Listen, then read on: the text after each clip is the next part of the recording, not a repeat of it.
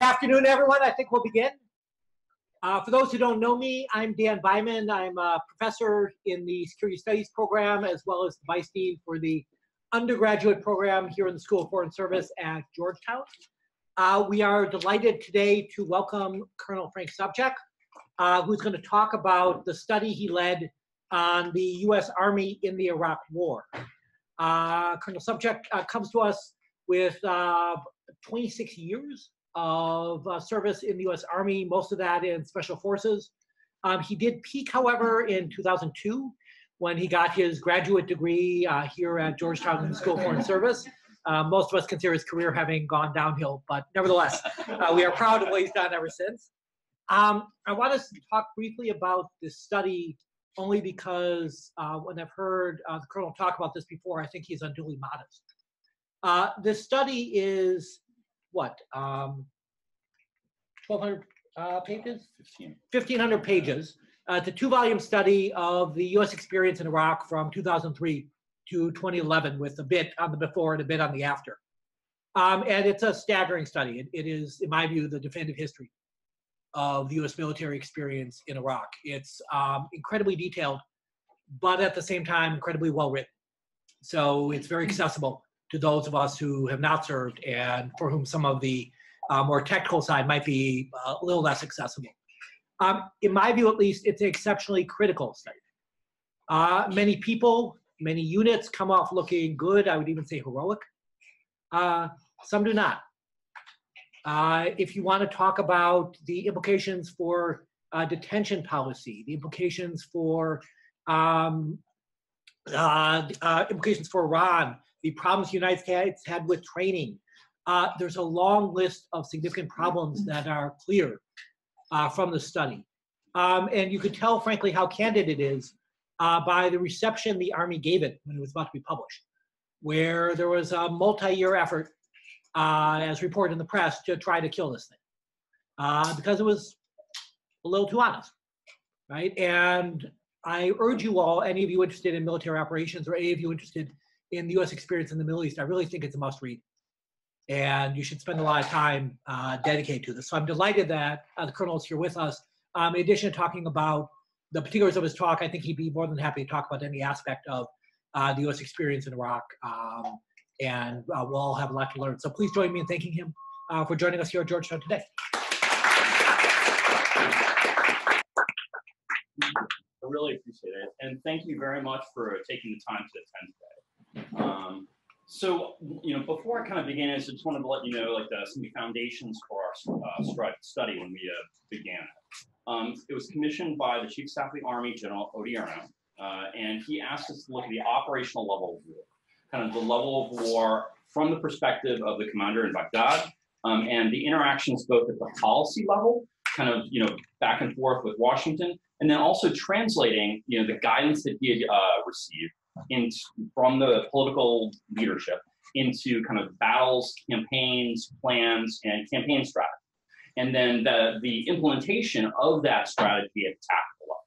So everything was really centered on Baghdad. You're not asked to look at kind of the political decisions of should we have gone to war from his perspective uh, and his perspective on civil military relations. That was really not our bailiwick. That was not our you know, issue to discuss. So we focused again on Baghdad and, and on the theater commander. And so much of our, you know, what we kind of concluded kind of follows from that baseline. And one of the, the things that we were really asked to do was basically figure out what went wrong. Um, he approached it from the perspective of, and he kind of gave us this as his initial kind of guidance. Uh, he said, look, uh, we, we meaning the Army, never wrote a history of the Vietnam War. And, and as such, we spent the first couple of years of the war in Iraq relearning many of the same lessons of the Vietnam War. And so he said, we cannot do that again. And that is why we have to do this study, is to kind of figure out what went wrong, what went right, and then kind of try to learn from it for the future. And so that's a lot of what my talk today will be about is I look at what were the major operational kind of decision points, so kind of the major places at the operational level where things went wrong um, major decisions at the interaction of the policy and strategy level that had profound consequences. And so, kind of as a thesis, there, there are five really main areas uh, that where problems have considerable consequences. Um, the first of these is the initial invasion plan. The second is our decisions that were made in the immediate aftermath of the uh, fall of Saddam regime.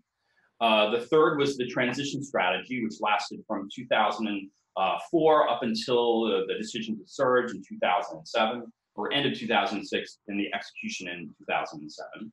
Uh, the fourth was the 2010 uh, parliamentary election. And then the last was the decision to go to zero, the kind of decision on what the uh, end state would look like in Iraq. So, you know, kind of I'll, I'll, look at each one of those and I'll talk through kind of what, what our main conclusions were. And so if you have any questions kind of about this or even about the study uh, in general or about the questions about like the drama associated with getting it published, you know, when we get to the question and answer period, please feel free, you know, completely open on whatever you'd like to discuss.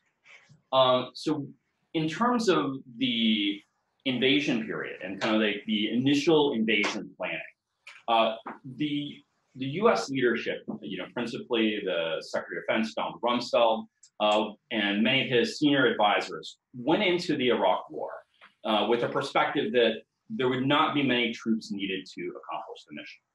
Um, and, and this was founded kind of on two bedrocks.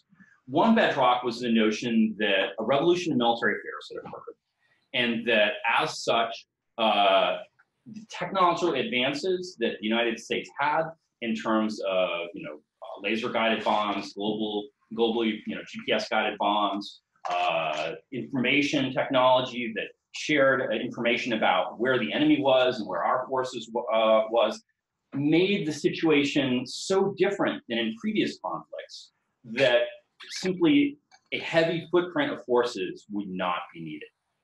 Um, and so consequently, when all the plans were kind of put forth, uh, the number of troops that uh, Rumsfeld and his staff and his senior leaders put together um, was always the, on the very low. And even at one point, the Deputy Secretary of Defense had advocated that the invasion could be accomplished with a single brigade, like one brigade of about 5,000 to 7,000 troops. And in some ways, you know, we, the United States was kind of a, a you know, a byproduct or a, a casualty of its previous successes, right? In that the, the destruction of the Iraq's military uh, and the Gulf War and Operation Desert Shield, Desert Storm, um, kind of vindicate almost that a revolution in military affairs had occurred, and that simply we could just replicate that.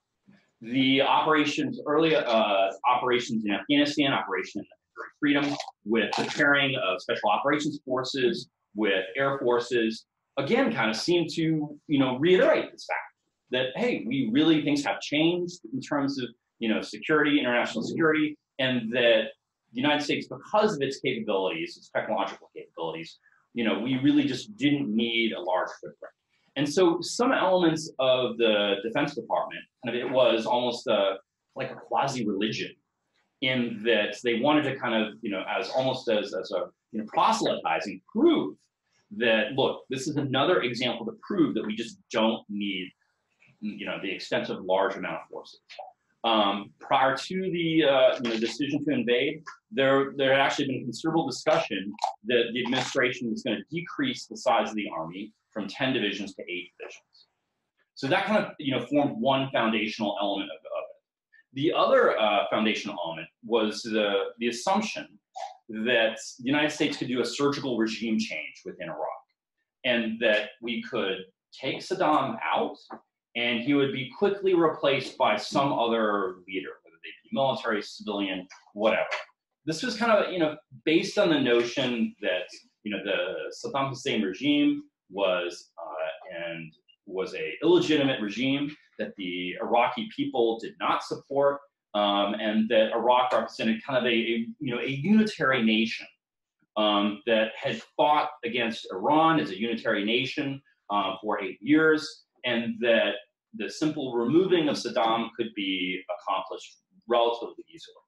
Um, you know, this kind of paralleled notions of the U.S. liberating France during World War II. That there was this illegitimate occupying force kind of governing Iraq, and that all we had to do was take out that leadership, replace it with a domestic, legitimate leadership, and that everything would be kosher, copacetic, and, and would progress forward. And then we could just move on to the next country in the axis of evil. So those two factors really guided uh, a lot of the uh, invasion plan. Um, it created issues also on kind of like the, the command side in that when the United States set up the commands that it thought that it would have, like post-invasion, um, the United States went through on the military side three different military commands within the first 13 months um, after the Saddam regime fell. It first had the Coalition uh, Land Forces Component Command, um, kind of a land component of CENTCOM. Um, then it went to the Combined Joint Task Force 7, CJTF 7, uh, under Lieutenant General Sanchez. And then it went to Multinational Force Iraq, kind of all reflecting of the challenges that after the United States actually toppled Saddam, that these premises, these assumptions, kind of proved to be unfounded.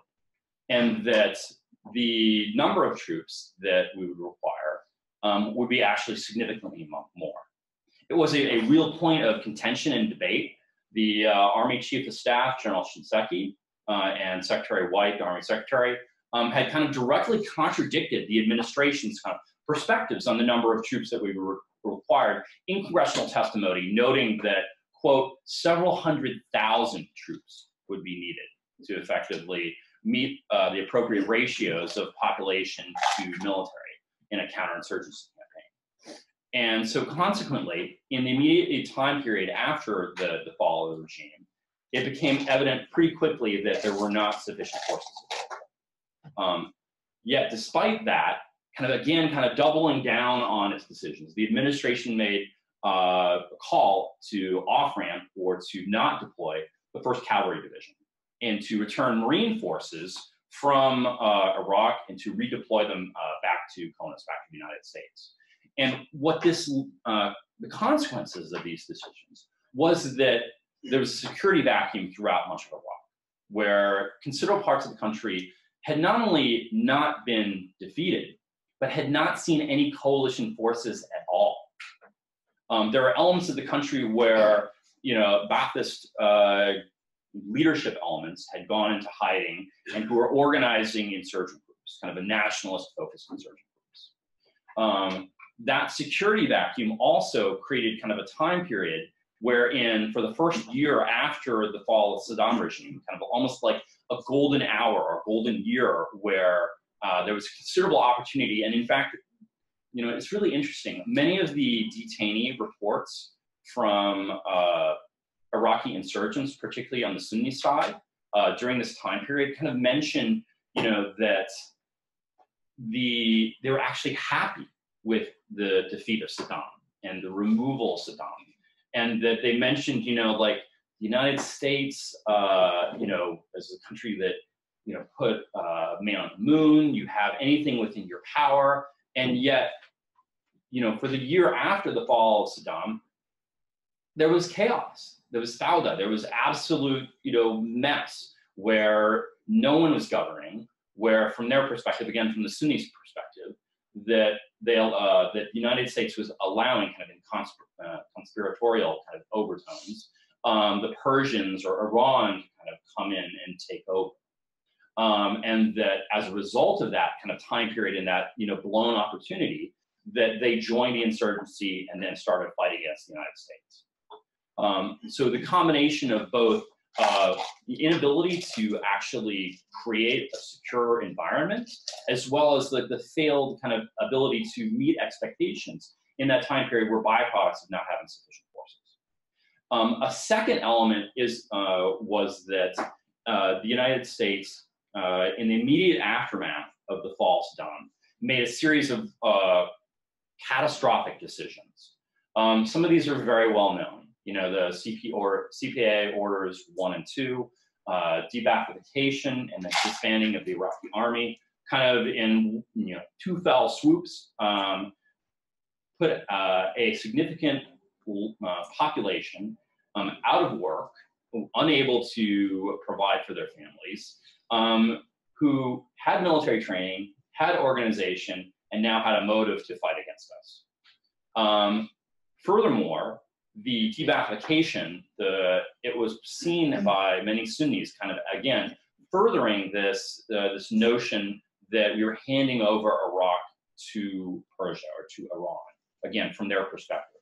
So kind of reinforced their uh, kind of sectarian tendencies, you know, to kind of that was almost divisional within the country.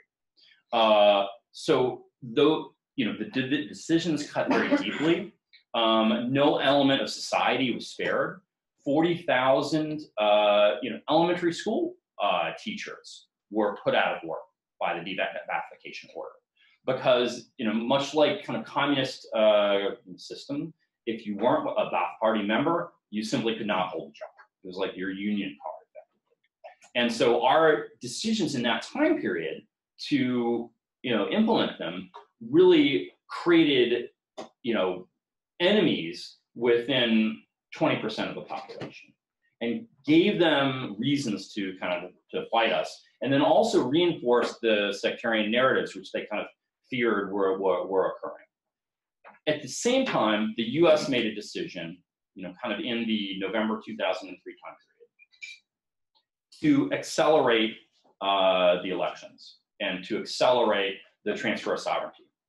Originally, the transfer of sovereignty back to Iraq had uh, planned to occur in kind of like the 2006, 2007, or even 2008 time period. Um, but as things kind of weren't going well, um, and we actually had several military and civilian people, civilian uh, leaders tell us that they felt that the decision to transfer so- sovereignty early, um, which again was made right in the immediate aftermath of the fall of Saddam uh, regime, was in effect kind of trying to paint a positive spin on the situation in Iraq prior to the 2004 elections. Kind of try to be able to say, give a win and say politically that, look, you know, things are improving, we're actually transferring sovereignty uh, in June, and, you know, Iraq's going to be its own nation. Um, the challenge with the tra- transferring sovereignty was that not only did it accelerate uh, elections, but it also made it much more difficult for the United States to be able to agencies kind of in competition with each other to kind of prevent you know a coup from happening, um, a very dysfunctional kind of system, um, um, as well as it uh, prevented the United States from being able to kind of you know hire or fire uh, Iraqi leaders within the army, the police, and other national security elements as that became kind of part of the U.S. strategy to uh, transition power to the Iraqis. um, it, it, as you know, it in, made it much more difficult for us to kind of intercede in areas where either corruption, sectarianism, or other problems were occurring. Because Iraq would kind of fall back on the issue of, hey, we're a sovereign country. You know, we, you know, you don't have the ability to kind of pull strings anymore. And in many cases, the United States really, you know, at the tactical level, at the implementation level, you know, saw it through that lens that, hey, we're going to, you know, give the Iraqis a chance. This is, uh, you know, a sovereign nation. And so in terms of picking Iraqi military leaders, that's not really our role to play. That is an Iraqi responsibility, and they have to learn how to do it. Um, so that created considerable challenges later on as kind of the, a sectarian civil war began to kind of like. Um, during this phase, the decision to uh, transfer sovereignty also early also um, had a second order effect in that it would require elections to happen much earlier than they had originally been anticipated. Um, and so there was a decision made that there would be uh, an election in December 2004 that would put into place an interim government that would write a constitution. Um, then that constitution would be voted upon uh, in October 2005, and then there would be a final actual uh, Iraqi parliamentary election in December 2005 that would create a four-year government. And so the, the second and third order effects, again, of having these early elections was that as a kind of a civil war was kind of brewing, it kind of threw you know gasoline on those sectarian fires in that it created a means for competition, kind of a political means for competition, in addition to a military means for competition. And the the the way that they were conducted um, were, was problematic also, in that the first election, many of the Sunnis decided to sit out. They uh, did not vote in the, in the election, uh, and consequently, uh, for the group that was chosen to write the Constitution, they're only about 2% of the electorate, kind of underrepresented almost by a factor of 10. Um, thus, when the Constitution was written, it was written by individuals who were not interested in supporting kind of Sunni interests. And as a result, the Constitution, when it was voted upon, Sunnis, by and large, uh, went out actually and did vote that time, um, but they voted against the Constitution almost unanimously. Um, so again, these, these electoral events became further avenues for competition rather than unifying elements, um, which was kind of a challenge within U.S. military doctrine in that, you know, whether it be the Marine Corps Small Wars Manual or the, you know, U.S. Uh, Army's perspective on low-intensity conflict and counterinsurgency conflict, there was a perception that uh, elections would be stabilizing elements um, and that you have elections, you create a legitimate government, and then that legitimate government seems, you know, would tamp out or provide, you know, you know, let the air out of the balloon of the insurgency, because then the insurgency's kind of, you know, complaint that hey, it's an illegitimate government would be, you know, would be deflated. The challenge was is that the way that the, the elections were conducted, it effectively enabled that large elements of the population saw the elections as illegitimate. Um, and so consequently, it exacerbated ethno-sectarian tensions. Now, at the next phase, uh, the United States pursued a strategy called the transition strategy.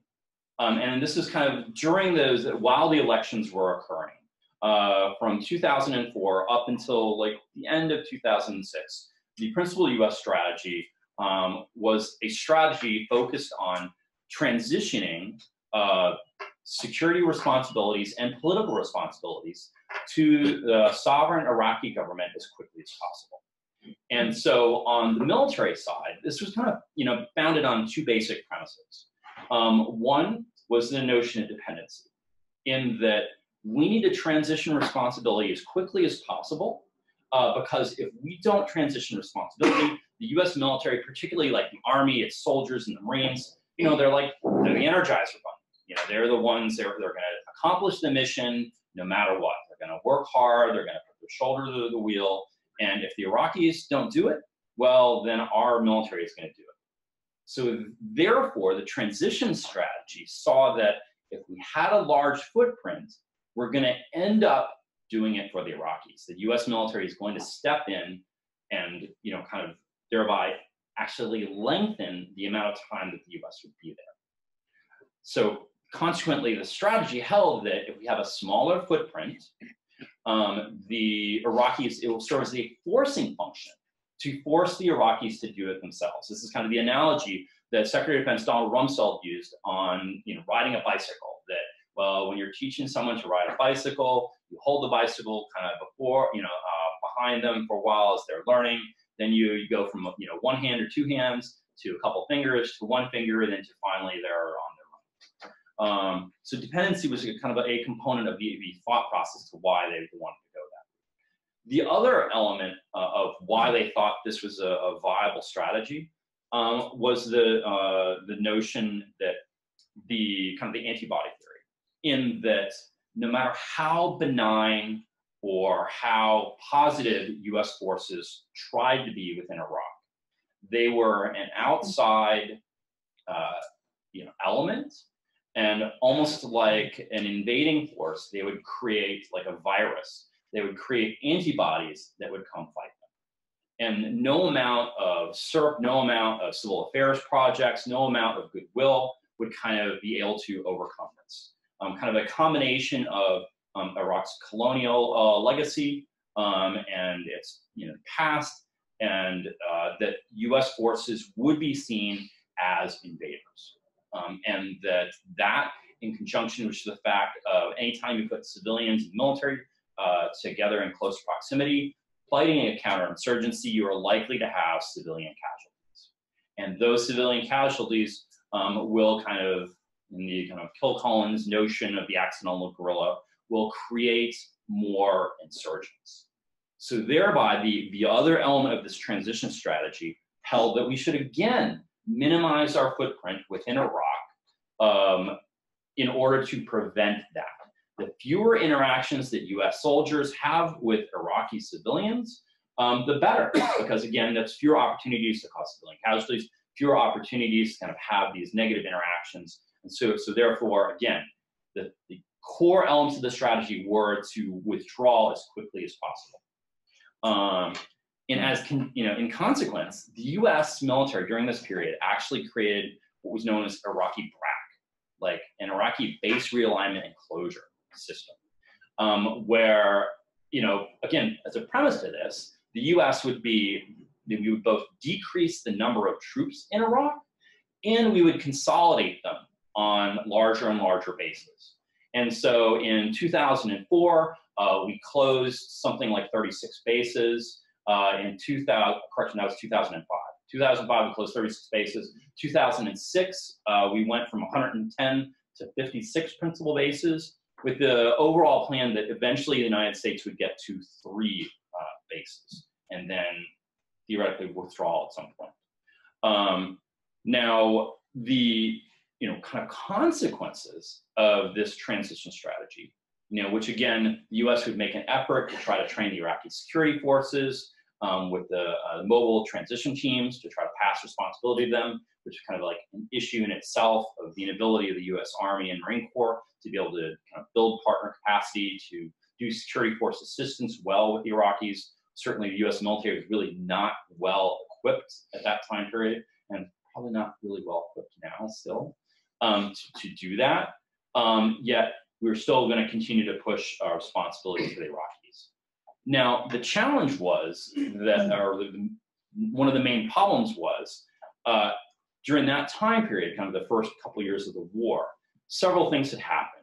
Um, and that on one end, the insurgency had transitioned from kind of a nationalist insurgency, kind of a unified nationalist, principally Sunni insurgency, uh, to uh, a uh, violent extremist Al Qaeda sponsored uh, organization uh, under Abu Musab Zarqawi. Um, Zarqawi's core, his campaign strategy, okay, was to ignite sectarian civil war in Iraq so that, you know, even though the Sunnis represented 20% of the population, that there would be a civil war in Iraq and that the other Sunnis throughout the rest of the Middle East would have to come to the Sunnis' aid in Iraq and thereby, you know, eventually win this civil war. Um, so on the insurgency side, there's kind of a there's a civil, you know, he's trying to incite a civil war. On external actors, uh, Syria is supporting this effort by Abu Musab al-Zarqawi, interestingly enough, even though they're Alawite Shia. Um, but again, you know, kind of the old adage of the enemy of my enemy is my friend. And hey, by the way, I was on the short list of, you know, the axis of evil or the extended axis of evil, technically, which Bolton said at the UN. Um, and they're like, hey, we don't want to be next. Um, on the uh, on the uh, eastern border, uh, Iran is supporting uh, Shia militias, and many of those militias are kind of directly fighting against uh, the efforts that Zarqawi and uh, his group are trying to do to inflame civil war. And they're attacking Sunni targets, they're assassinating leaders, they're uh, begin a series kind of of ethnic cleansing within Baghdad. Um, and so both external elements and internal elements are also kind of contributing to almost, you know, creating a civil war where the internal competition has transitioned from a simple nationalistic insurgency to almost a full-blown civil war. And this is the same point that the United States is beginning really to step back so and, and minimize its presence. So at that point, the US transition strategy effectively blinds us to what is going on. And we both lose uh, situational awareness and uh, we create a security vacuum where because our forces have decreased in number, the number of brigades in Iraq has dropped uh, from uh, 15 to 12, um, with a notion that it's going to go down to 10 uh, by the end of 2006. That kind of gets arrested as the Bush administration steps in and says, hey, you know, things are not really going that well. Um, but the, the decision to kind of pursue the transition strategy both creates more venues for competition in terms of the elections, create uh, political competition, inflames tensions where rather than give an opportunity to kind of uh, depoliticize and, and also try to reach, you know, rapprochement and, and try to get reconciliation amongst the different groups, um, the political acceleration inflames that. The military acceleration both blinds us in terms of situational awareness and creates a security vacuum.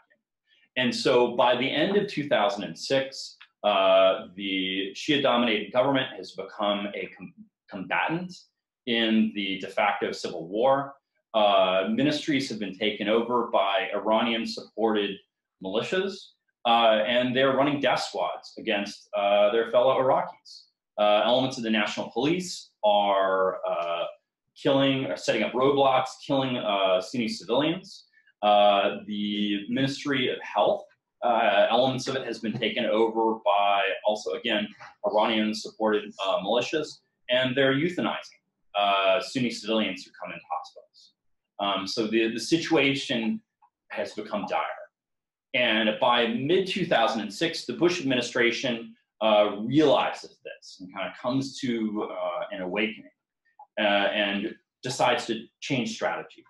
Um, and after a period of kind of deliberations, uh, the President Bush decides that he's going to pursue a strategy known as the surge strategy. And that from 12 brigades, they're going to go up to 20 brigades within Iraq. Um, they'll add five brigades, uh, plus uh, three additional brigades will be added. There'll also be two uh, Marine regiments will also be deployed. Um, so there's a considerable, effectively, he effectively reverses the transition strategy and says this strategy was a failure. We're going to, you know, double down and we're going to go in completely the opposite direction. So not only does the number of forces, you know, increase dramatically, but the decision to consolidate on bases is reversed. And during 2007, the, um, the number of bases goes up to 495 bases. I'm kind of reflecting counterinsurgency doctrine that in order to be effective, you actually have to live with the population. You have to be out, uh, not on large bases where you have Starbucks and Burger King and all the creature comforts of the world, but you live with the population. Um, and so that element of counterinsurgency strategy um, becomes engaged there. Uh, it changes. Um, at the same time, uh, the organic uh, Sahwa, or the Sunni awakening, uh, really has taken off. Um, and the political and military leaders uh, in Baghdad make a decision that they're going to support it, that they're going to throw their weight behind it. That even though there are elements within the Sunni awakening who are former insurgents who had fought the United States previously and who had literally, from the perspective of American troops, blood on their hands, um, that they're going to support it financially and provide weapons in some cases to arm these Sunni groups to fight against other insurgents and elements of the civil war. Um, this, in many ways, helps take out one or and a key element of the opposition, in that the Sunni nationalists, who previously had had kind of a uh, support of the violent extremist organizations like Qaeda in Iraq um, because they felt that they really didn't have a choice. Um, and that with the Shia sponsored uh, or Shia government, Iranian uh, sponsored death squads, you know, hunting them uh, and their relatives in Baghdad and its environs, um, that they didn't have any other option other than to work with Al Qaeda in Iraq. Um, but with them deciding that, hey, the United States is willing to support us um, and that we can fight uh, in Iraq, um, that changes the dynamic considerably on the Sunni side. Um, so the combination of more forces, following a counterinsurgency strategy, expanding the footprint, the uh, commitment to support the Sahwa, um, and then also considerable effort politically to try to um, reconcile the different groups, effectively tamps down violence in Iraq.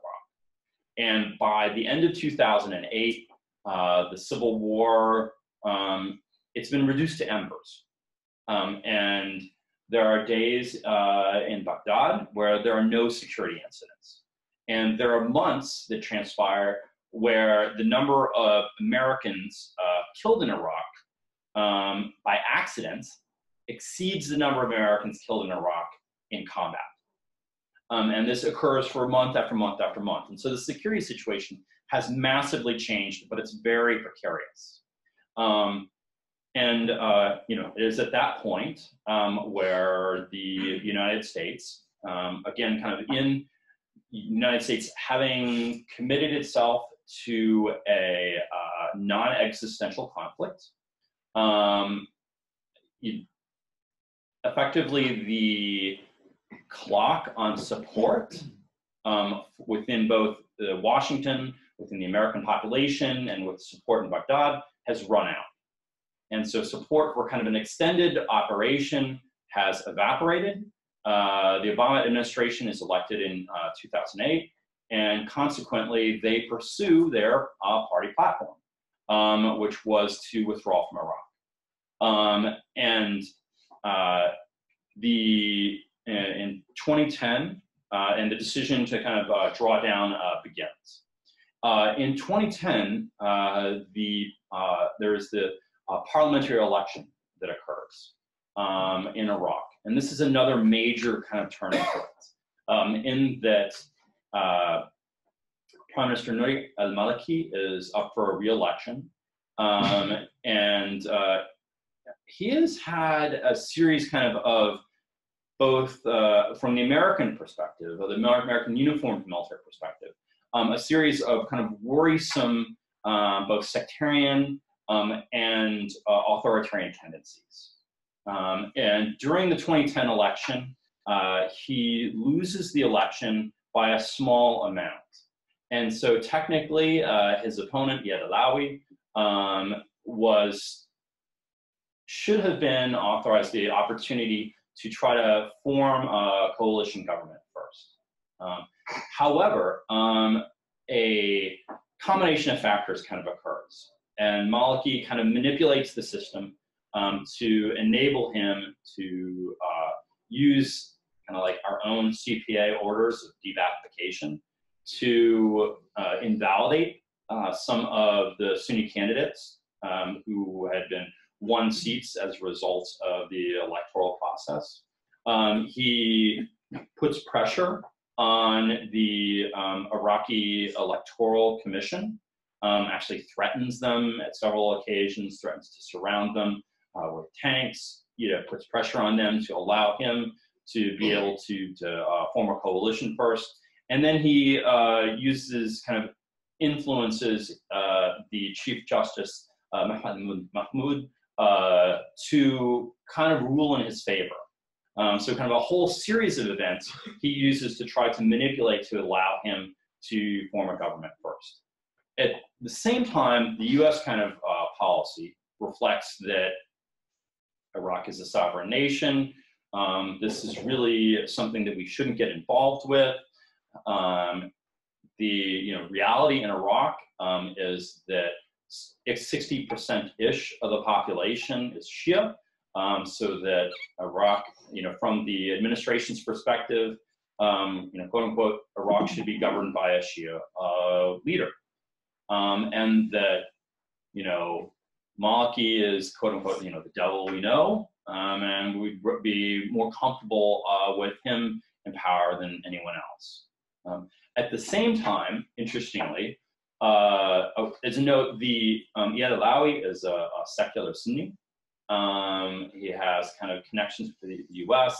Um, there are Sunni uh, members within kind of his, you know, uh, constellation of uh, support, uh, and uh, he um, he's he's got support um, through different groups to to help him out. Um, so his position, even though he's a sector Shia, he was supportive of kind of moving forward.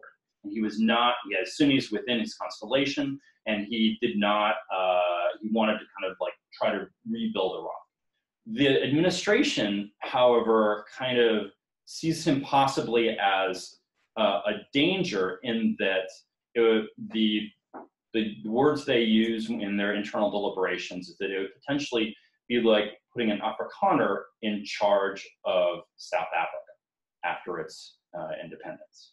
Um, so consequently, they don't put any support behind him. They continue to put support behind Maliki, um, even though the military leadership in Iraq is sending very worrisome signals back to the uh, administration that um, Maliki is, quote, uh, and this is in an official cable, um, you know, implementing a rolling coup, unquote, um, within Iraq, and that you know, if he is in effect uh, selected to be the prime minister, it has the possibility of reigniting civil war.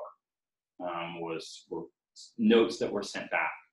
Um, at the same time, Iran mm-hmm. um, is actually fully supportive of uh, Maliki, and so they actually call uh, many of the um, Iraqi political class uh, to Tehran um, and meet with uh, IRGC Quds Force leaders um, who kind of, you know, not so diplomatically remind them that after the United States leaves, we will still be here, um, and you should probably remember that. Uh, and so, uh, as a result, uh, Maliki, after a long series, uh, a long series of, uh, of months where there is no government formed, he is allowed to form the first, uh, had the opportunity to form the first government, and he becomes prime minister uh, again. Um, and then this uh, has huge consequences, um, both during the decision to try to what will happen um, during the, uh, you know, the decision to withdraw, as well as the period immediately after that, um, because Maliki's authoritarian and sectarian tendencies kind of play out. The next kind of, you know, the final area where there's uh, a, operational level decision that has huge consequences um, was on the, the, go to zero decision, kind of the decision on what the residual force in Iraq would look like. Um, and as um, they're kind of going toward the, the December 2011, when all US combat forces are supposed to leave Iraq, um, there's the debate within the administration on exactly what the residual footprint should look, look like and what they should propose to the Iraqis. Um, and on the military side, uh, the recommendations range anywhere from uh, 24,000 uh, two divisions, um, which was the theater commander's uh, recommendation, to a division, uh, which was the uh, central command commander decision, correction recommendation. And then eventually, as the administration kind of is obviously is not comfortable um, with that, there's kind of a civil military discussion, uh, kind of a dialogue uh, that occurs. Um, and the administration first proposes, well, possibly we'll go with 5,000. Well, no, we think maybe 2,000 would be the, the best number that we, we think we could go with. Um, when those numbers, oh, and the administration also decides that um, not only do we want to go with 2,000 perhaps as our kind of uh, residual force number, um, but uh, we're also going to propose to the Iraqis or note to the Iraqis that it will require a parliamentary approval um, on a new status of force agreements to allow US troops to stay. Um, those two factors effectively become kind of equivalent of poison pills that kill the uh, option on the Iraqi side. First, the when 2000, uh, the number 2000 is kind of proposed to the Iraqis, they're kind of in shock uh, and they look at it from the perspective of, well, you know, you know, if we're going to expend considerable political capital to keep Americans here who would many you know, portions of the domestic political uh, you know, environment see them as occupiers, uh, we're not going to get a lot of bang for that buck if you only have 2,000 troops here, because that's really not a lot to kind of help, you know, our security, help transition us forward. So why would we want to expend the political capital in exchange for that? Second um, is the notion that uh, that it would require parliamentary approval. It's dead on arrival, and politically, it is seen as it's just not going to happen. And so a debate kind of again occurs within the administration, kind of different perspectives on you know what uh, whether we should revise our offer um, with uh, the president uh, with the vice president, uh, Vice President Biden, who's kind of uh, the point person within the administration um, for Iraq, um, the and the national security advisor, um, both kind of holding to the position. Hey, we've offered what we should offer. If we go to zero, that's fine. You know, our entire we believe that you know we should withdraw from Iraq. The uh, others within the administration uh, disagree, and so the Secretary of Defense, the CIA director, the Secretary of State, um, the Chairman of Joint Chiefs, um, and Central Command Commander all recommend retaining some sort of residual force. Um, that does not happen. Uh, the decision is made, the president uh, makes the decision, and the residual force goes to zero. And it's interesting that in the when the you know United States is actually on the day that the United States is leaving. And if you've ever seen kind of like a uh, deactivation ceremony, it's a very kind of solemn military affair where they actually military units have flags, you know, kind of harkening back to Civil War and you know, Revolutionary War era. And those flags are actually furled; they're kind of cased and then brought off to a historical uh, location where they're kept. And you know, for that ceremony, uh, Prime Minister Maliki was, you know, had, was given a seat. Um, but during the ceremony, his seat is empty um, because he is busy elsewhere. And he is busy in that on the actual day of uh, the deactivation, um, he is in the process of impeaching uh, his uh, Sunni uh, deputy prime minister, uh, of trying to arrest the Sunni vice president, and arresting the uh, governor of Diyala province, who's also a Sunni, uh, and then arresting the uh, director of the Iraqi Electoral Commission, who had previously you know, pushed him against him in, uh, in the 2010 election. Um, he then, in, in, over the next you know span of the next two years, uh, he continues this very uh, sectarian kind of you know fight against the Sunnis, arresting other leaders, um, his elite force, the Iraqi Special Operations Forces, um, you know, earned kind of the moniker of uh, Fedayeen Maliki, um, which previously the Fedayeen Saddam had been like the Saddam's kind of, you know, thugs who would kind of go in and arrest uh, people who disagree with them. So Maliki's, elements of Maliki's military have become known as you know, Fedayeen Maliki, um, kind of reflecting this, this change. Uh, he politicizes the military and within the span of two years removes every uh, division commander and above and replaces them with sycophants and sectarian supporters, um, almost all Shia, uh, and basically transforms the military from an organization that would that had been semi-functional um, and that effectively anyone who was seen as working too closely with the Americans was pulled out um, despite the fact even if they had been effective or not. Um, he, and replaced them with people that he considered as people who uh, were his trusted confidants.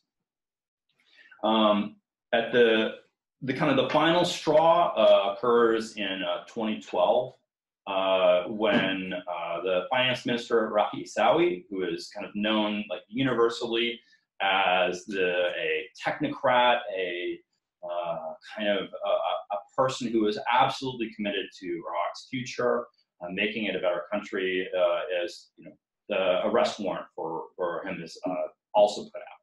Uh, there's kind of a Sunni uprisings, which begin as protests, um, but as Maliki brings forces in uh, to kind of tamp down these protests, violence ensues, um, and then the kind of civil war that um, had been tamped down into uh, embers kind of has reignited. Um, that uh, reignition is taken advantage of by Daesh, by ISIS, um, and then the civil war really returns in, in, in earnest, with eventually uh, Daesh uh, mar marching down to the environs of Baghdad. Um, so, you know, with that, to me, those, and those what from our study, those were really the five top most crucial operational level decisions on why things transpired in Iraq. Now, there are many other reasons and other things that we could talk about, but those were the, the key ones. The one thing I would, uh, you know, kind of like to throw out before I transition to questions is that, you know, this is definitely not, uh, you know, we, we definitely did not have the perspective that, um, as some have tried to paint us, that, hey, everything was won, the surge was won, and the war was won by the surge. That is not the case. Um, the situation, uh, the surge had improved the situation considerably, um, but the war was far from won, and it is even very debatable if the war could have even been won. And I'm putting "won" in like quotation marks here. Um, kind of like hate that term, but whatever. Um, just because so much time had transpired um, and so many you know bad decisions had been made by the time of the surge that you know in many areas it's questionable on whether it was recoverable. Um, but i guess with that i will close um, and open the floor for questions. Uh, before we open it up i just have uh, one question to, to jump in with. Um, on the on the surge and the there's of course the troop surge and then there's the decision to back the South Lot. Um, could that have been done two years before, or did it require changes within the Sunni community world in order to enable the opportunity that was successfully seized on? Yeah, so I think uh, is it the question? Is it just the Sahwa or the whole the decision to surge also? Um, uh, just the Sahwa. I mean, Okay. assuming uh, Yeah, yeah. President Bush had decided, or the or, or the operational leadership human decided. forces more. Exactly. Okay, so they're really interesting. The what we found was that um, in 2004 and 2005, that various tribal elements had actually made outreach to the United States to try to initiate what would later become the Sahwa. Um, and that in 04, uh, they were turned down for a couple reasons. Um, one was this perception that hey, we've created this new Iraq and it's a democracy and tribalism isn't a part of democracy. You know, you should have your loyalty to the Iraqi state and to an electoral process. And arming tribal militias really is not a part of that strategy. That we are creating an Iraqi national military. Um, so in 04, it, it crashed and burned, um, and it didn't even get off the ground. In 05, um, there there was some it went so far as some groups were armed uh, and supported but it was very much at the tactical level and kind of the bottom level where the CJSOTF, the Army Green Berets, had kind of collaborated um, with the Marines in a couple like test beds to to arm these tribal militias, and they were effective. Um, but they were also the the central leadership in Baghdad. Really, it, it was not it was not in opposition, but it was not in support. It did not offer weapons and money, and I mean, you know, we, we basically paid. Um, so, so the answer to your question is, yeah, it, I, I think it could have been started earlier. Um, certainly, you know, by oh, you know, 06, 07, things were ripe to I think I'll let you take your own question. Okay. questions. Um, Uh, what do you think the implications of the lessons learned are for Afghanistan and other conflicts that we're still in that are yeah. protracted? Yeah. So first of all, is that uh, to try to do you know nation building and or building a, a military in, in a society that is very heterogeneous is very difficult, and it takes a long, long time, and that every effort should be made to try to like prevent inflaming sectarian tendencies, and that you know, while I mean, it's, it's, it's really hard, like, because there's a balance.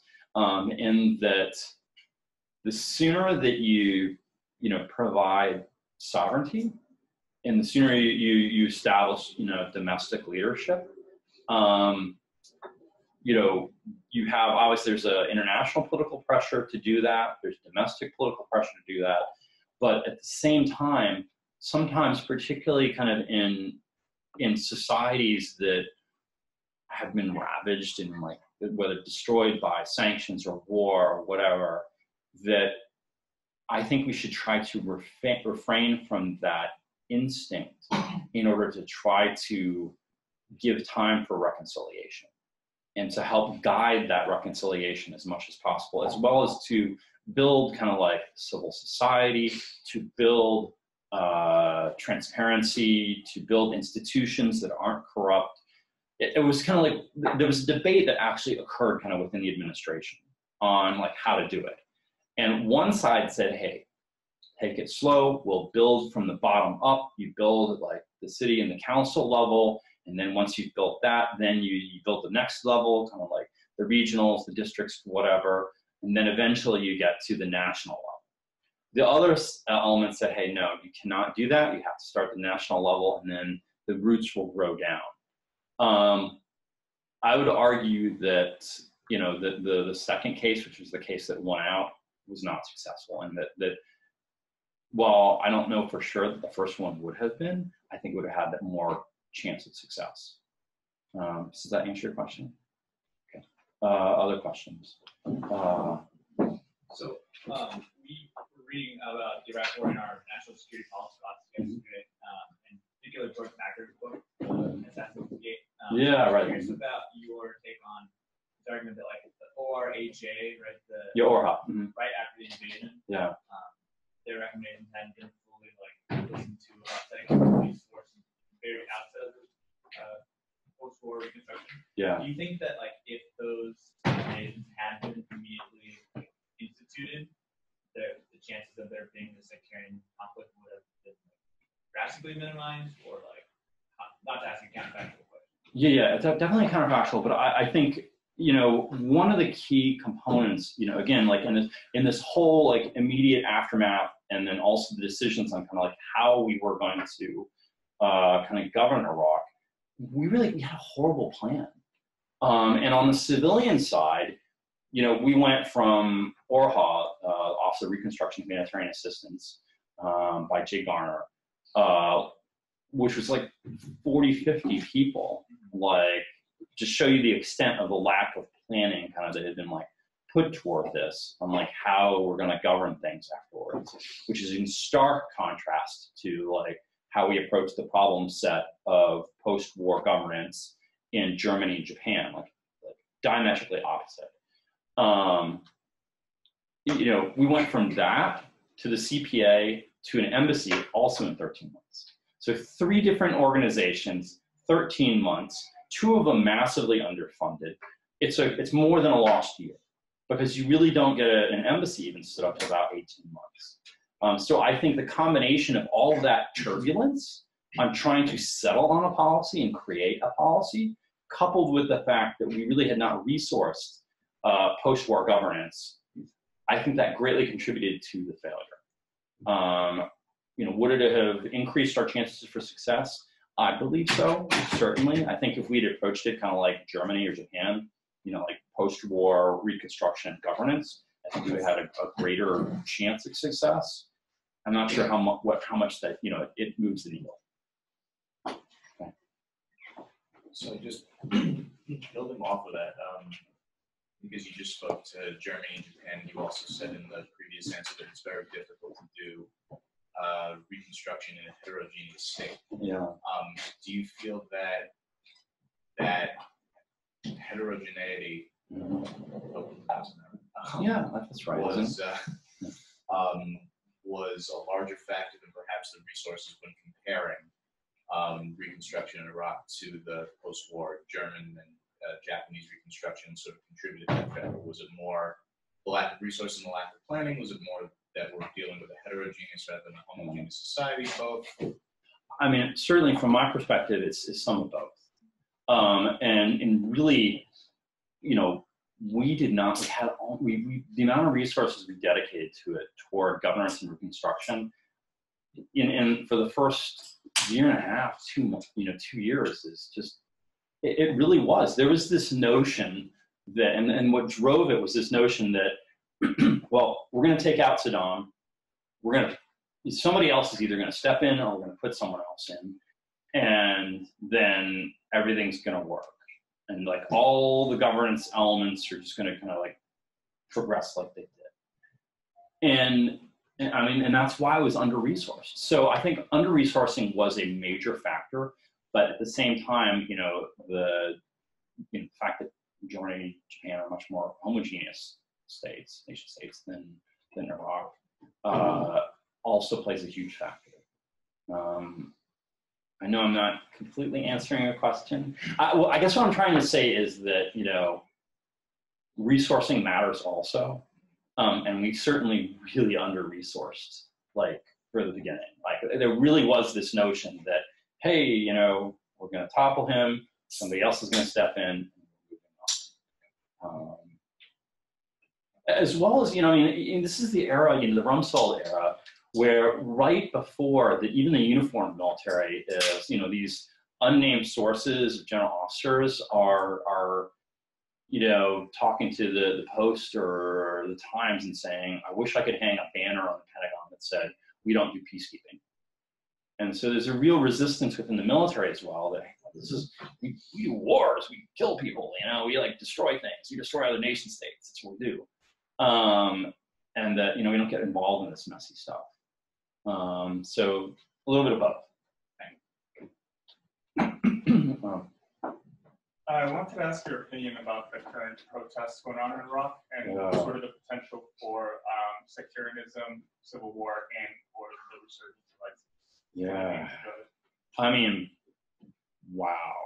Yeah, I mean, we're, it, it, it, it, you know, I'll say I think it definitely the potential is there. Um, I, you know, in one, you know, on one hand, I think many of the Iraqi people are you know, so tired and exhausted of war, and Iran has overplayed their hand certainly. Um, and there always has been, you know, a large element of, you know, the wh- whether it be insurgency, opposition, whatever, it has had a nationalist kind of, you know, component. I mean, you know, Muqtada uh, Sadr, you know, almost always has. I mean, there were a couple eras where, you know, kind of faced with near extinction, that he kind of took some assistance from Iran. But in, in most cases, he's been very, he's really a nationalist and, and doesn't want the US or Iran or anyone else really meddling within Iraq. And kind of consequently, you know, I mean, do I think that there's a possibility of civil war? I, I do think it's possible that it could reignite. Um, I don't, you know, it's a very, it's, it's, it's a pretty bad situation. Um, Um, so kind of on, uh, that's an interesting segue to my question. So with regards to like Shia militias, comparing like the Sahwa among Sunni tribes Yeah. to like how um, the U.S. policy was towards Shia militias, I mean, uh, the interesting thing is, you know, compared to like, um, you know, Al Qaeda and other Sunni groups, I mean, sometimes there's kind of an uh, de facto, you know, understanding between Shia militias in the U.S. Or, you know, at times, you know, you stayed out of each other's way and whatnot. Yeah. Um, with that in mind, and you know, especially even given the fact that like the Sadr is very vocally anti-U.S., but with that kind of understanding going on, do you think that there was some kind of role to be played that the U.S. could have engaged with with Shia militias more? positively. Mhm. We saw the the Shia um, militias as very monolithic, um, and th- they were anything but. Um, you know, particularly post 04, um, when kind of a splintering uh, of JAM occurs, um, I think there really were some opportunities there to, you know, you know, even in the groups that would not ally with us, but just the the, the we failed to recognize that even if they disagreed with us, perhaps that they would be rather than fighting them directly, they could be a good component of the government to serve as a, a buffer to Iranian expansionism. I, I think that is a, definitely a missed opportunity. Um, Well, to follow, to follow up on that, then, one, one thing I'm noticing is that we tended to assume that whatever enemy we were facing at a given time was monolithic. yeah. We assumed that, we assumed that the Iraqi government initially would, had sort of modular parts that could be swapped out. hmm We assumed that the Shia militias were a single unit. So what?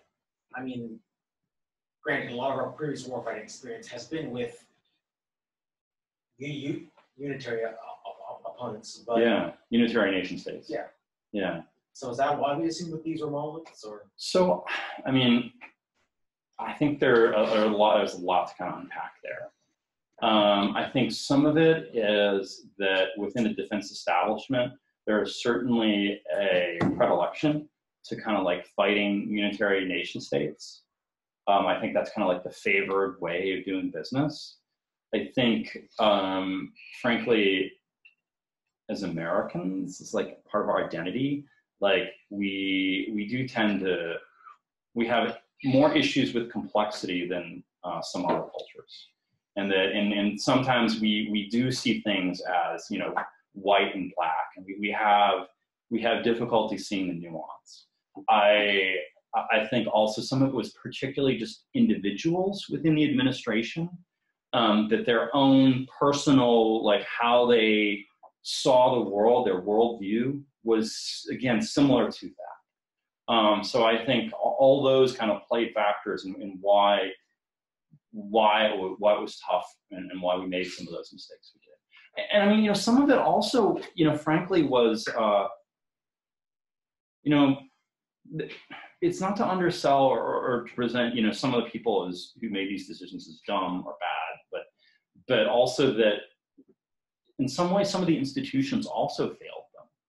You know, uh, the the internal intelligence um, on what was going on within Iraq um, didn't do a very good job on laying like the human terrain and explaining that. Um, it, are I would argue that we have, and I mean again, this is part of the American culture. We're so technologically based um, that we we rely on signals intelligence rather than more on human intelligence and an understanding like the human footprint and, and human kind of geography. Um, and and that made it more difficult to inform some of the decision makers effectively. Okay. Uh, So you, you finish this report, you publish it, and it, there's difficulty in publishing it, which again, Oh, nobody oh, yeah. mentioned yet. And one of my questions, and particularly people involved in defense and security, is what do you believe that the resistance to that says about the military as an organization, or one that doesn't seem very willing to kind of confront with its past Mhm. or kind of admit to failure, particularly when militaries and personnel in the military are trained to think we are never wrong, we're always right, we've got the, the interest, the interest of the nation at heart. So therefore, being critical of us is kind of not the way to go. So Yeah. is that a problem, particularly as you go forward now, where will policymakers run into similar issues where I can't trust the military to ever think of things with any nuance because they just gotta drive ahead. Yeah. So it's weird. I mean, some of it is really is personality based and who the people are who are making the decisions at different time periods. Um, like when when the project was originally commissioned, you know, General Odierno, he was beyond supportive, and he basically gave us the keys to the kingdom. Uh, we went down to U.S. you know to CENTCOM, U.S. Central Command, and they're like, hey, you know, the SIPR, the secure archive, the secure databases, look through it, declassify whatever you want. Um, you know, I mean, we, you know, access special access programs that we review. Um, and that, it, you know, as we went through the process to make sure there's actually a defense officer pre-publication security review that reviews everything to make sure that we don't reveal anything that's classified or that hasn't been declassified. Um, but, you know, and, and he was very supportive of trying to learn from it. Uh, when General Milley took over, who is now the chairman of the Joint Chiefs of Staff, uh, that evaporated like instantaneously. And and, so, and I mean, it, it reflects in elements. I mean, there are elements certainly, I think, within the military that that are reluctant to crit, uh, criticism and that want to kind of just avoid bad press, that don't want to deal with anything that could be seen as being controversial. And I mean, so, you know, when, and again, this is again very different in personalities. When Odierno sat us down, like he, he gave us explicit guidance and some things that are really, I mean, you know, he told us, quote, if you have to kill some sacred cows, kill some sacred cows. I would rather accept, uh, I I'm willing to accept risk on controversy so that we can learn from it. Um, and he told us like some things that were really like, like these are within the military, like, like you don't touch them. Um, he's like, I want to talk about the National Guard. Uh, I want to talk about our allies. Uh, I want to talk about the Marine Corps role. Uh, I want to have a mature but professional discussion about civil military relations embodied within this. All those are like, each, any one of those is like the equivalent of the abortion or gun control debate within the military. Um, that like, you know, on the official side, like, you just don't talk about, like they're, you know, you know, crazy uncle or whatever. um, uh, when you know when Milley came in, man, it was like you were gonna talk about that? You know, like what? Like who authorized this? Why did they do it? Um, so that was an, an element of it that, that just like any of those controversial topics is like, hey, yeah, we don't talk about this Was that kind of a shock considering he came from special operations background to you? It kind of seems. I've, wo- I've worked with conventional forces long enough to know how they work. um, and so there's a real, I mean, th th there's a huge variance in like risk, like between special operations and the conventional army. Um, and it's, it's changed. And I mean, look, we, we in special operations, we have our own flaws and I could like, I could talk for hours about that. Um, so we're not perfect either, but in one area, we're much more willing to accept risk than they are generally, in, in general terms. Again, individuals matter, but in, in general, statistically, much more willing to accept risk the, the one other component that I did want to throw out was the other element of, of opposition to publication uh, came from the perspective of, and like I was told this by like one of my spies, you know, within the you know senior offices. Um, you know, this individual said, "Hey, uh, this doesn't fit the narrative of the Army's return to what was called, or what is called, as decisive action, which is nation state versus nation state warfare." Um, it doesn't meet the narrative that we're trying to sell to the Hill or as part of public affairs. And consequently, we don't, or they don't want to see it published because it muddles our narrative. Um, so, does that answer your question? Yeah, no, I, I, that was my follow up was going to be the same thing if we had time. So now should we, write this book, we throw it away because it's like, oh, I get to fight China and Russia now. And like, that, Yes. it's kind of disturbing to hear the military, particularly the army, would want to say, well, we get to make a narrative. Because to me, it's like an anthem. You know, It's, you I don't get mean, to make a narrative. the, the army is a bureaucracy just like any other bureaucracy. And, you know, again, some of the bureaucracy, there's elements of culture involved, but some of the elements of bureaucracy also leadership matters. Um, and so, you know, you, there, there's a left and right limit, and, you know, however you go within that is kind of dependent upon who's in charge. Um, but yeah. Okay. Uh, So, can you, a couple of questions around this issue Yeah. of doctrine and narrative. mhm.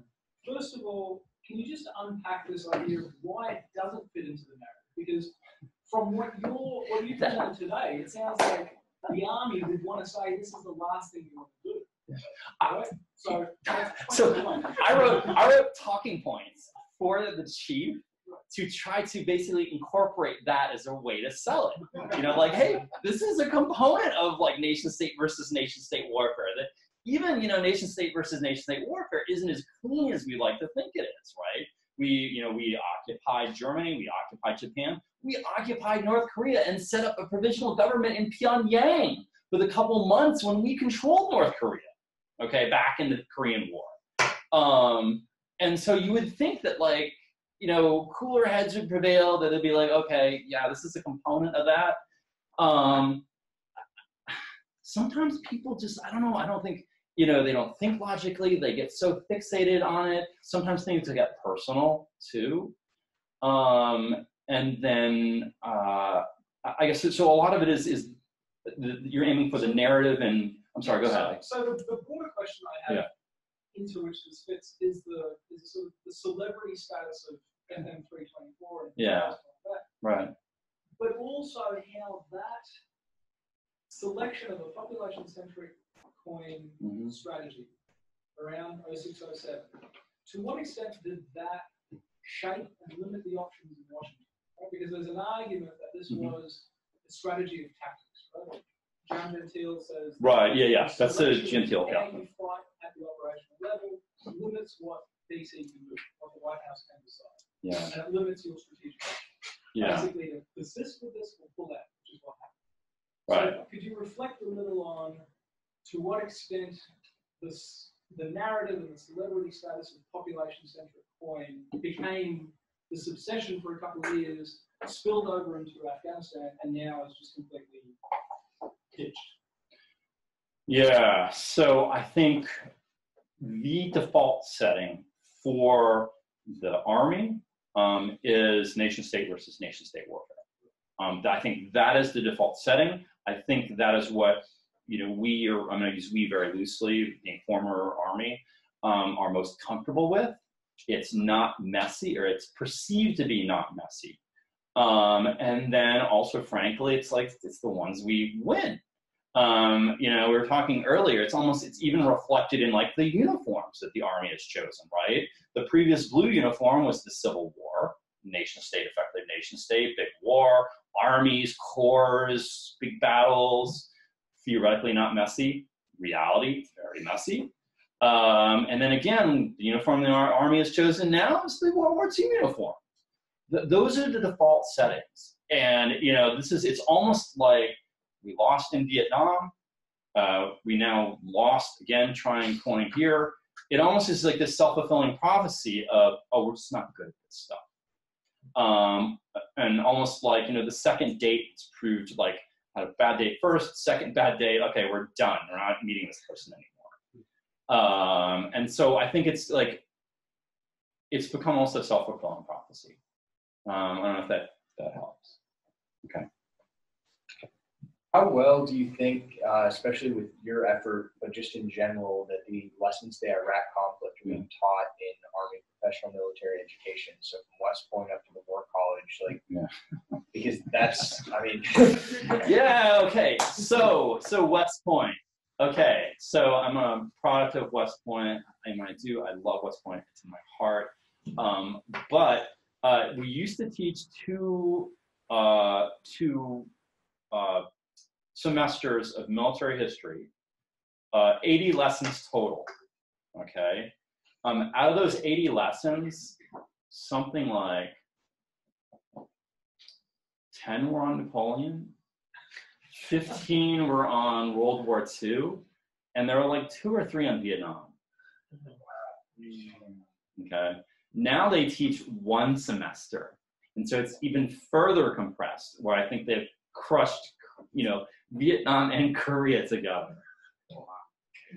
Um, you know, it is. It's just what we, I mean, you know, we were in the military, in the army, we were, you know, our national training center, you know, the CTC in, in California, Fort Irwin.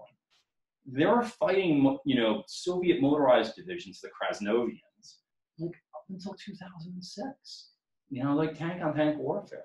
And they didn't really start to integrate, you know, in large level, like civilians in the battlefield, guerrillas and sergeants until like 06, you know, like three years into the war. Um, so, so in some ways, it it's depressing. It's like you know, it makes you want to like take up, you know, medieval history or something like light like that. Um, but on the other end, on the other end of the spectrum, that there is, I think there is some hope in that there are many like leaders who are lieutenant colonels, colonels, majors, um, who you know fought these conflicts, and in some cases, you know, saw like when things did go well, and have kind of like taken that to heart.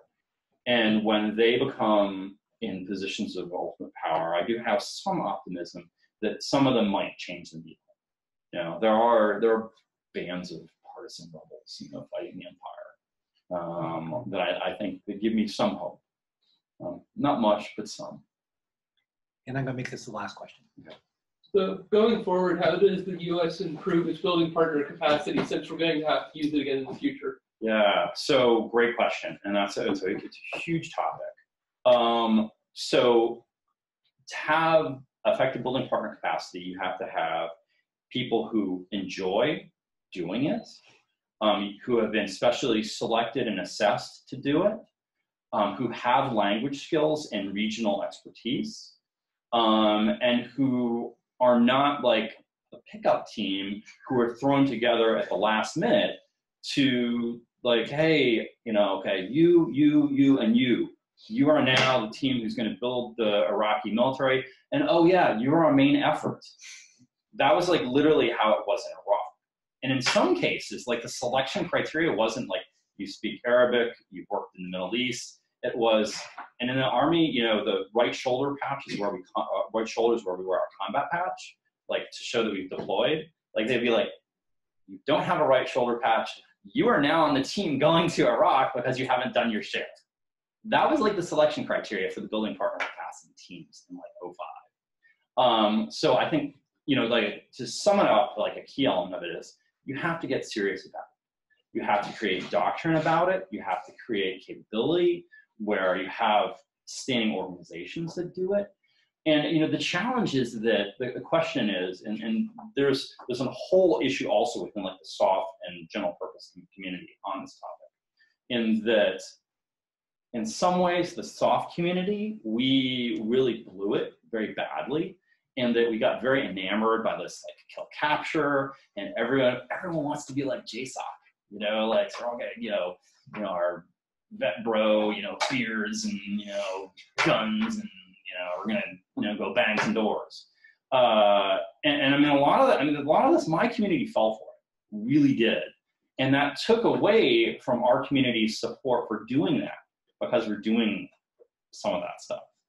Um, and in some ways it's intoxicating right? It's like because it does provide those theoretical short-term rewards. Like you know you've gotten a, a jackpot. You know you, you you know killed or captured someone. You've accomplished theoretically accomplished something.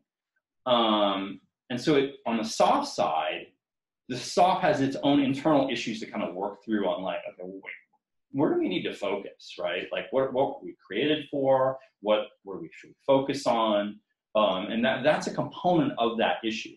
On the other end of the spectrum, when you're doing large, you know, reconstruction, like the st- you know, scale of Iraq and Afghanistan, you know, even if you deployed all of the SOF forces for perpetuity and committed them just to the building partner capacity mission, there still wouldn't be enough units doctrinally to train all the forces you need to train. So the conventional forces have to have a component of that game if you're going to do this large scale building partner capacity. So I guess in general terms, you know, the three areas I would, I would say is SOF has to sort out what their role is going to be and they should refocus on it. Second, um, the conventional forces have to get serious about doing it and doing it right. Um, and I don't know, I guess those are the, the, the components. Uh, we've hit our witching hour, so apologies to those of you who still have questions. Uh, but before we all go, please join me in thanking Colonel Sobchak for a fantastic.